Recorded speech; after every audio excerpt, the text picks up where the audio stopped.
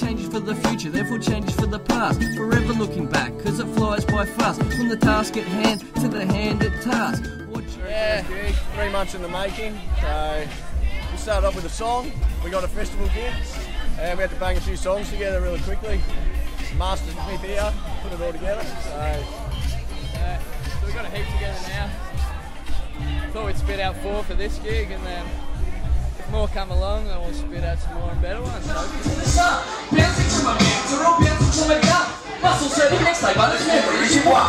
Everybody bouncing, that's bouncing is one. When everyone stays strong until the bounce is done. love the Brisbane scene. Love it. Love the Brisbane scene. We all came together, yeah, we came for this music and whatever your passion, just step up and choose it. Mine's Aussie hip hop, front page, and I'm here to prove it. Uh, Australian hip hop venue wise, though, live venues are going downhill.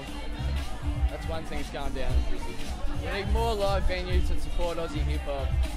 Support good music. though. Well, later on, boom. Let's bounce to the A, yo, bounce to the top. Let's bounce to the T, yo, bounce to the top. Let's bounce to the progression, man, and bounce to the love. We'll bounce no and hit the tissue on a heart. So bounce to the A, yo, and bounce to the top. Let's bounce to the T, yo, and bounce to the top. I've always loved hip hop, like since, you know, back when about, what, 14, 13 years old, started listening to hip hop. 15, 16, just started writing rhymes, left school, did some uni. Now I've got some money and some time in my hands to make beats and write rhymes.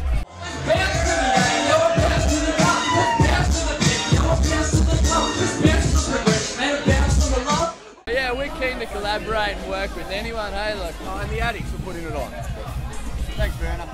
That's it. Aussie hip hop though, we're willing to collaborate with whoever. Like we've got our own sound, but that's it. We love new voices on the fucking new voices, new sound. Always good.